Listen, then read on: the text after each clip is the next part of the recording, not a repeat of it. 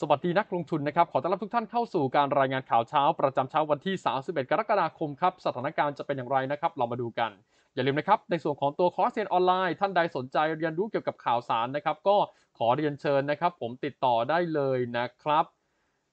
ร่วมฉลอง 10 ปี แห่งความเป็นเลิศทางด้านการเทรดไปกับ Things Market ท่านใดสนใจขอได้เชิญที่เพจหรือเว็บไซต์ Things Market Thailand ได้เลยครับผม สถานการณ์ในช่วงเช้านี้ครับนักลงทุนครับเรามาดูกันสักนิดหนึ่งนะครับในส่วนของตัวสกุลเงินเยนมีการปรับตัวขึ้นสู่ที่หน้าของตารางแล้วนะครับในขณะเดียวกันตัวของออสเตรเลียก่อนหน้านี้เนี่ยมีการปรับตัวแข็งค่านะครับแต่ปัจจุบันเนี่ยเริ่มมีการทยอยอ่อนกำลังลงไปบ้างแล้วเหมือนกันถามว่าออสเตรเลียกับนิวซีแลนด์อยู่ห่างกันแบบนี้ครับคุณมีข่าวอะไรหรือเปล่าเกี่ยวกับเรื่องของจีนสหรัฐ อันนี้จริงๆ ยังไม่ได้มีประเด็นอะไรสำคัญมากมายนะครับนักทุนครับเราอาจจะมองเป็นในช่วงของตลาดเช้าที่มีผู้เล่นนะครับยังไม่ครบตลาดเท่าไหร่ครับอาจจะต้องรอดูหลัง 8 นาฬิกา 30 นาทีอีกครั้งหนึ่งนะครับตัวของสกุลเงิน US ดอลลาร์นะครับยังค่อนข้างทรงตัวไปในทิศทางที่อ่อนนะครับในช่วงเช้าเพราะว่าโดนแรงกดดันจากการแข็งตัวของสกุลเงินยูโรครับผมเรามาดูในส่วนของตัวดัชนีฟิวเจอร์สหรัฐนิดหนึ่งครับภาพรวมแล้วยังคงบวกอยู่ทั้ง 3 ตัวหลักเลยนะครับโดยเฉพาะในส่วนของตัว NASDAQ ครับ ตัวนี้ถามว่า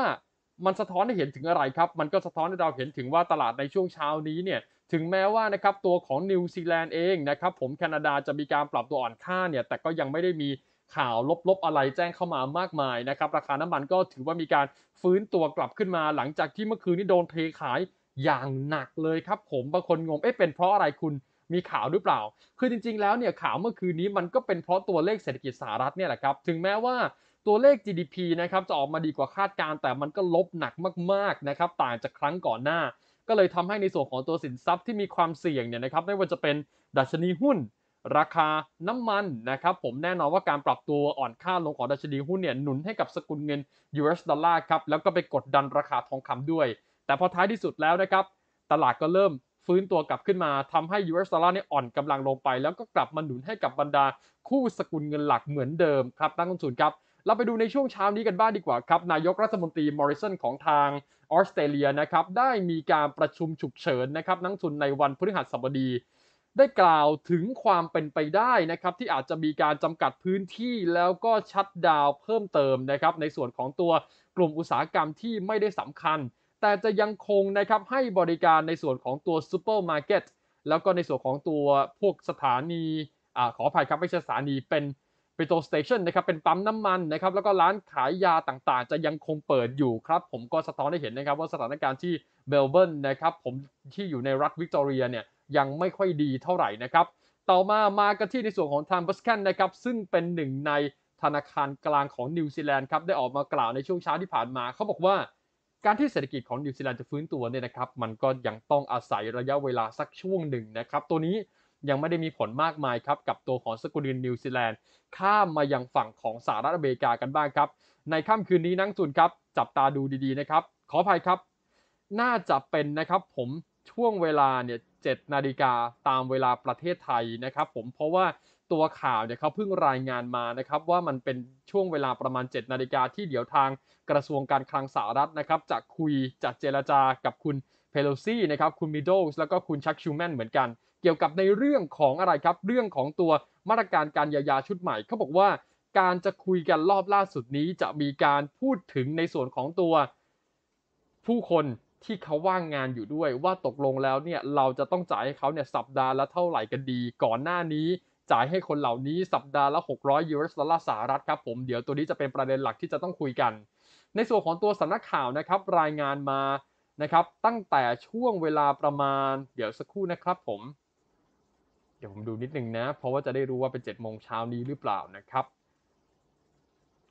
รายงานมาเพิ่งจะประมาณต้นชั่วโมงนี้เองครับนักทุนครับเพิ่งจะต้นชั่วโมงนี้เอง แสดงว่า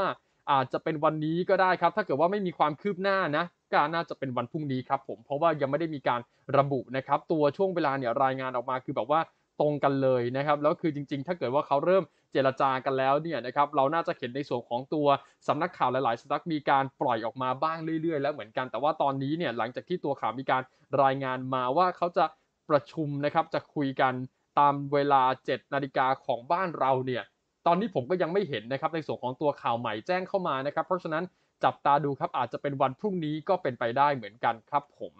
เอาละครับนักทุนครับเรามาดูในส่วนของตัวข่าวเกี่ยวกับโควิด -19 กันสักนิดหนึ่งครับมีการรายงานมาจากทางสำนักข่าวนะครับฐานเศรษฐกิจ ได้กล่าวว่ากัมพูชานะครับมีการตรวจพบนะครับทูตสหรัฐเนี่ยมีผลติดเชื้อโควิด -19 เป็นบวกครับ แต่ว่าตัวนี้ไม่ได้ส่งผลกระทบกับตัวการนะครับ สะท้อนให้เราเห็นว่า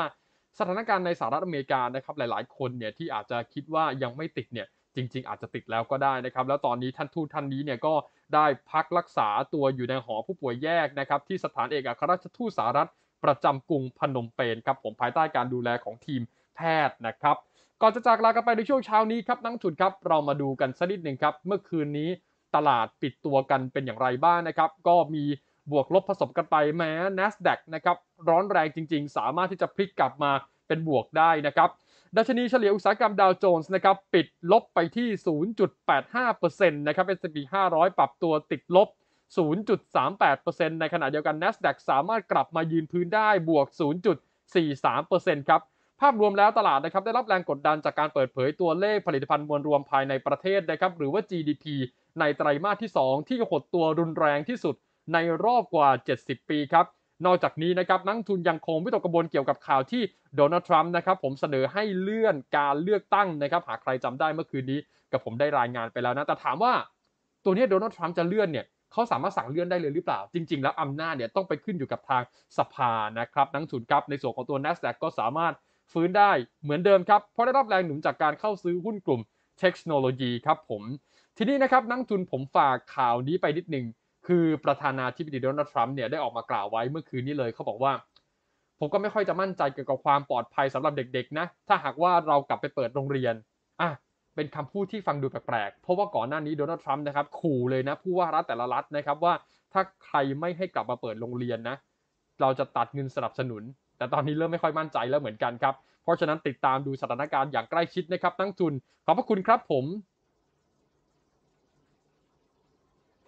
ท้ายที่สุดนี้นะครับอย่าลืมนะครับในส่วนของตัวบริการ Signal ออนไลน์นะครับท่านใดสนใจสกุลเงินดัชนีหุ้นทองคำรวมถึงราคาน้ำมัน